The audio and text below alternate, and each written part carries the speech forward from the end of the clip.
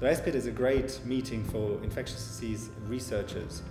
It has a very broad content ranging from basic science to uh, more uh, translational research, but also clinical research.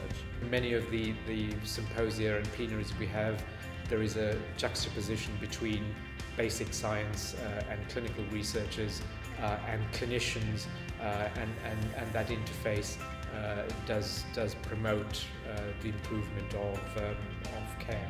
It's a great opportunity to attend a lot of these sessions and to network and to uh, brainstorm and discuss with everyone uh, what we should do next and what's the future of uh, pediatric infectious disease. The take-home value from each aspect is getting inspired from all the new data that is available here, getting inspired from the research that other groups are, are performing, new ideas, go home and produce new data. Rotterdam is a hub for infectious diseases. It's got a long-standing record of great science. It's the place where HMPV has been discovered.